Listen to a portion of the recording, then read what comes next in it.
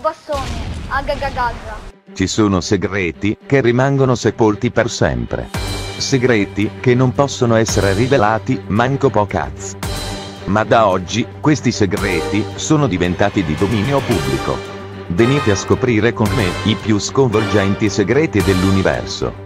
Bimbi minchia e puttane minorenni, nuove rivelazioni. C'è da avere paura. Uh là! Uh là! Le pataton della sorellina!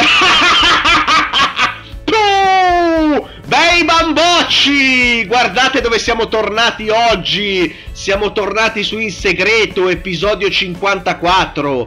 Dopo una lunghissima pausa infernale, siamo di nuovo qui ad analizzare i messaggi dei subumani, dei bimbi minchia, delle puttane minorenni, degli invasati, dei segaioli, dei pompinari, dei ciucciapalle. Insomma, siamo qui ad analizzare la new generation di gente fuori dal comune, fuori di testa completamente. Bene, prima di iniziare mettete like e condividete il video perché se non ho like e non ho condivisioni questi, questi video non vanno da nessuna parte e visto che YouTube ormai è diventato una fogna settica bisogna o fare flame oppure avere like e condivisioni. Se volete la qualità mettete like, condivisioni e guardate i video, altrimenti la qualità svanisce, svanisce per il flame. Io vi avviso perché ovviamente YouTube sta diventando così e quindi io porto solo avvisi ovviamente, questa non è mica una minaccia, è un avviso, eh? è un avviso di garanzia, quindi state tranquilli. Allora iniziamo subito. Donna di 16 anni, da quando i miei genitori mi hanno detto di andare a scuola con l'autobus, lascio sempre un bigliettino nella retina del sedile ad un ragazzo che si siede sempre nello stesso mio posto, solo in orari diversi. Lui sa chi sono, io non so chi sia lui. Notate bene questa frase, io non so chi sia lui. Ci siamo promessi che alla fine di questo semestre ci saremmo incontrati. Oggi abbiamo deciso, non sto nella pelle. si scoprì che quel ragazzo che lei non aveva mai visto era in realtà Mimuzzo Scoreggione, 140 kg di puro amore con la passione per le sedicenni e questa ragazza non fu più mai ritrovata. tu! brutta incogliona testa di cazzo ritardata. Queste cose non si fanno perché tu non puoi mettere i bigliettini nel sedile a uno che non hai mai visto. Tu non puoi sapere se questo è uno della tua stessa età, se è un cinquantenne in calore, se è uno di 70 anni con il cazzo floscio. Non lo puoi sapere, quindi queste cose sono molto pericolose perché poi quando ti vai a incontrare, magari questo è un maniaco sessuale, ti violenta, tu piangi e finisce sempre nella solita manfrina. Ah, come è potuto accadere? Di qua, di là. Fatevi furbe! Queste cose non vanno fatte, soprattutto avete cellulare, no? Prima di tutto vi sentite col cellulare, poi se vedi che la situazione è buona, allora lo incontri, se no ti attacchi a sto cazzo per la tua, eh, ovviamente per la tua sicurezza. Ma visto che sei un imbecille, vai, vai e non tornare più a casa. Andiamo avanti che è meglio. Donna di 20 anni.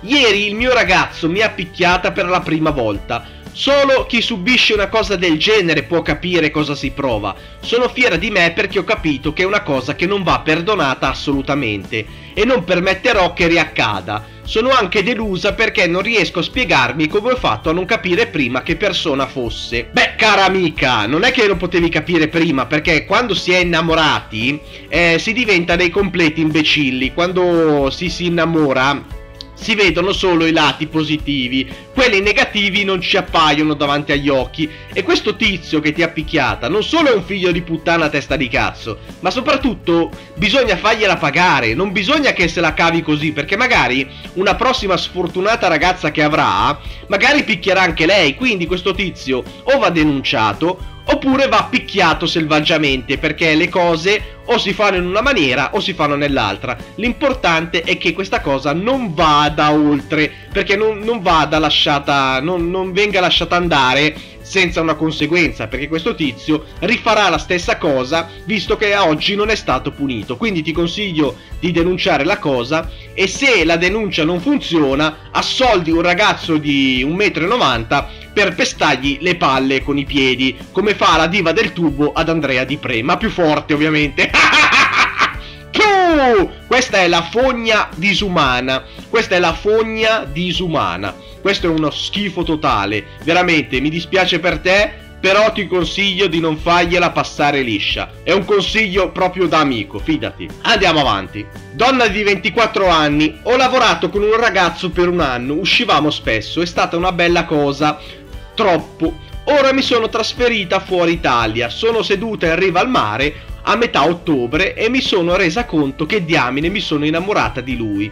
Fanculo di stanza, fanculo la ragazza, tu dovresti essere qui ad ascoltare le onde del mare con me! Ma ti rendi conto di quello che cazzo dici? Cogliona! Questo è una ragazza perché tu stessa hai detto fanculo la ragazza. E allora, cosa fai? Rovini le coppie? Ma che merda sei? Ma che merda sei? Ma un, trovati un cazzo lì dove sei, no? No, devi rovinare la coppia, cioè fuori dal normale. Voi siete una generazione spaccata nel cervello, spaccata sei spaccata nel culo. Poi magari, sai cosa succede? Che lui molla la sua tizia perché vuole bombarti. Ti bomba, scoprite che non state bene insieme, vi mollate avete rovinato non una coppia, due. Quindi immaginate voi quanto siete ritardati. Tu sei una pazzoide, anzi, fai così, vai al mare, vai sotto, metti la testa sotto l'acqua, cerca qualche conchiglia, poi la prendi e te la ficchi in culo, così senti le onde del mare. Uh, uh, uh, uh. Uomo di 23 anni. Sono un musicista, ho pubblicato il mio secondo album da due settimane, ma non riesco a darlo via neanche regalandolo. Oggettivamente non è un capolavoro, di sicuro devo migliorare, ce la metto tutta, ma è mediamente godibile e orecchiabile, è musica di sottofondo. Non capisco se il problema sia io o la musica.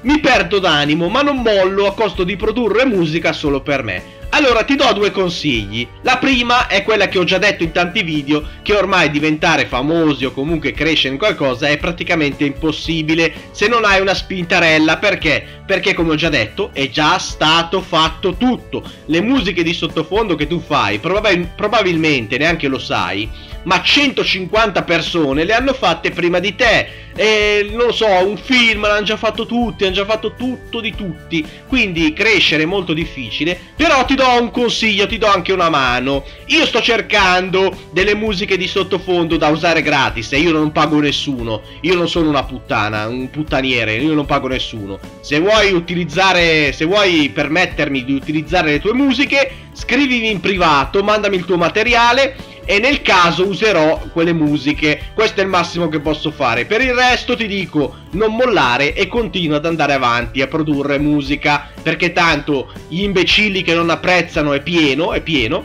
Quindi se la musica eh, ti faccio un esempio, se quella musica l'avesse fatta un, un tizio famoso, sarebbe diventato eh, capolavoro, capolavoro, capolavoro. Invece l'hai fatta tu che sei un povero stronzo e nessuno te la calcola. Quindi questa è come va l'umanità oggi. Mettiti il cuore in pace e vivi sereno. Andiamo avanti. Donna di 33 anni, questa è grande. Un mio amico quando avevo 11 anni mi ha praticato nel sesso orale. Mi è piaciuto da morire, però poi da quell'episodio non è successo più nulla. Il mio primo bacio l'ho dato a 15 anni. cioè, di solito però funziona. Vedi una volta come funzionava? Una volta era la donna che era più furba e si faceva fare un cunnilingus. Oggi invece sono gli uomini che si fanno sbocchinare, capito? I furboni. E quindi, donne, svegliatevi! Svegliatevi! Avete visto questa tizia cosa faceva? Questa ha 33 anni, no? Quando la generazione era ancora sana, si faceva leccare la patata. Non è che la dava così la bocca gratis. Vedete, fatevi furbe. Non è che sbocchinate il primo stronzo che capita minorenne senza barba. Eh, quindi fatevi furbe. Sveglia! Uomo di 24 anni. A 24 anni ancora non ho dato il mio primo bacio e nemmeno il resto, ovvio. E eh beh, vorrei dire, cazzo, se, se non hai baciato cosa fai? Eh, ficchi? Non lo so. Nessuno è interessata a me e nemmeno io interessato a nessuna in particolare. Questo sbagli. E qui che sbagli, devi essere interessato a qualcuna. A 20 anni ho conosciuto l'unica che mi sia mai piaciuta. Le sono stato dietro due anni, le ho chiesto di uscire più volte, mi sono anche dichiarato e ho ricevuto solo dei no. Ora sto lasciando perdere, ma temo di restare solo per sempre. Beh, guarda, hai sbagliato tutto, hai sbagliato tutto. Tu non ti devi mai dichiarare, mai, perché quando ti dichiari eh, ti rendi eh, praticamente vulnerabile. E la donna non piace, tu devi essere sempre duro, con il cazzo duro e dire oh, domani ti voglio a pecora, subito, subito, è un ordine, è un ordine, solo così puoi conquistare una donna al giorno d'oggi, perché non siamo più nell'epoca delle poesie, delle lettere d'amore, sì, ci sono qualche ragazza che apprezza, ma Guarda, fidati di me, eh? fidati di me. Adesso le devi prendere a pecore e te le devi sbattere. Perché la poesia non funziona più, le lettere non funzionano più, le, dica- le dichiarazioni non funzionano più. Dammi retta a me! Fidati che ho esperienza da vendere. Non esistono più le romanticherie. Fidati, fidati. Ci saranno certe ragazze a cui piace, ma la maggior parte, e fidati che ti capiteranno sempre persone così, vogliono la minchia tanta e l'uomo duro fidati di me, dammi retta. Quindi se vuoi trovare una sorca, cambia atteggiamento, fidati, dammi retta. Vedrai che cambierà tutto. Andiamo avanti. Uomo di 17 anni. Questa sera sono uscito a fumare in balcone, completamente nudo. Complimenti. È stato bello rilassante e non mi ha visto nessuno, ma anche se fosse, detto sinceramente, ho il pisellino abbastanza piccolo e quindi da lontano non si sarebbe nemmeno visto. Tu! Testa di cazzo! Ti preoccupi del tuo pisellino micropene formichina che, che scammina? È quello che ti preoccupi, ma preoccupati che fumi a 17 anni! Imbecille! Testa di cazzo! A 17 anni che fumi è una tragedia per il tuo corpo. Una tragedia. Già quelli che fumano, che sono più grandi, sono dei sacchi di piscio. Figurati tu che fumi a 17 anni, ma non ti vergogni. Ma, ma sai cosa ti sta venendo nei polmoni? Ma ti farei vedere, guarda, te la faccio vedere, guarda. Questa è la foto, questa è la foto di un polmone che fuma di un fumatore. Guardate i polmoni di un fumatore. Guarda, guardali, guardali, li vedi come sono belli colorati? Bene, adesso ti faccio vedere un polmone sano, così ti rendi conto di com'è la differenza. E voilà, vedi? Questo qua è un polmone sano mentre questo è un polmone distrutto dal fumo e tu adesso stai andando nella direzione a sinistra. Vedi bel bamboccio, vedi bel bamboccio quanto fa bene fumare, ma preoccupati del pisellino, non ti preoccupare, vai avanti così che vedrai che tra qualche anno eh, l'asma, eh, un problema cardiaco, i polmoni collassati possono accompagnare solo, non ti preoccupare. Bene, ora vi saluto, un bacino sulla figa delle vostre sorelline in calore e ci ribecchiamo al prossimo video.